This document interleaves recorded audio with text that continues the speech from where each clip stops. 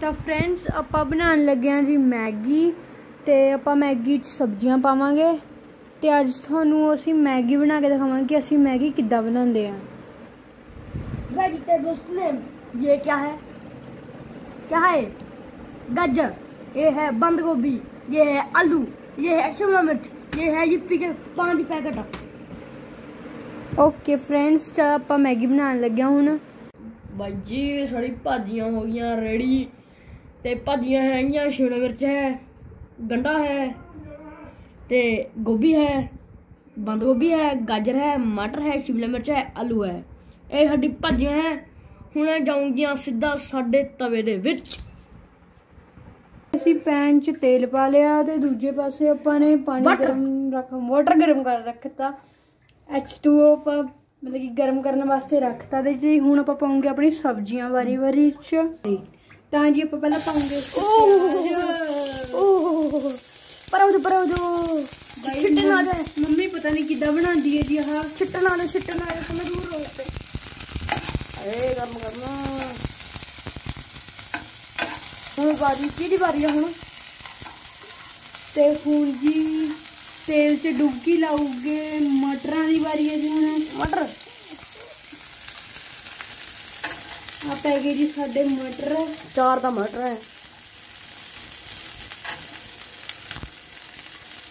ਹੁਣ ਜੀ ਸ਼ਿਮਲਾ ਮਿਰਚ ਪਾਣੇ ਦੀ ਬਾਰੀ ਨਹੀਂ ਜੀ ਸ਼ਿਮਲਾ ਮਿਰਚ ਬਾਅਦ 'ਚ ਪਾਉਗੀ ਬੰਦ ਗੋਭੀ ਪਾ ਦਈਏ ਇਹ ਵਾਲੀ ਗੋਭੀ ਪਾਉਗੀ ਪਹਿਲਾਂ ਤਾਂ ਨਰਮਲ ਗੋਭੀ ਬੰਦ ਗੋਭੀ ਸੁੱਕੀ ਗੋਭੀ ਗਿੱਲੀ ਗੋਭੀ ਗੋਭੀ ਹੀ ਗੋਭੀ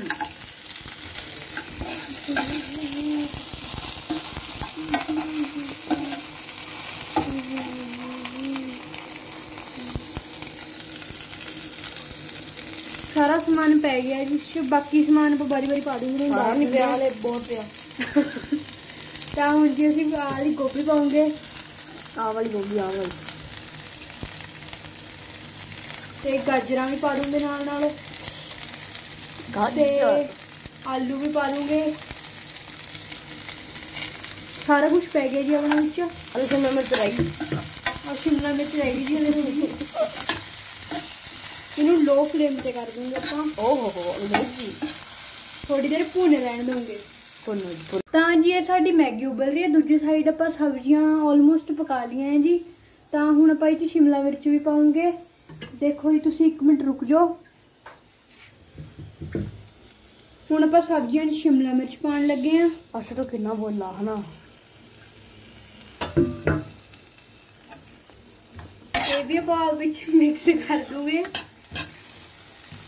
ਤੇ ਬਸ ਥੋੜੇ ਜਿਹਾ ਨਮਕ ਪਾ ਲੈਣਾ ਉਸ ਕਰਕੇ ਸਾਡੀ ਸਬਜ਼ੀਆਂ ਪੱਕ ਜੂਗੀਆਂ। ਸਾਨੂੰ ਮੰਮੀ ਨੇ ਦੱਸਿਆ ਜੀ ਕਿ ਨਮਕ ਪਾਉਣ ਨਾਲ ਸਬਜ਼ੀਆਂ ਪੱਕ ਜਾਂਦੀਆਂ।